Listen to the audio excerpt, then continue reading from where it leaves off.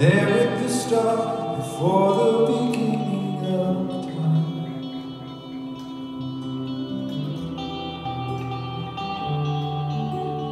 No point of reference.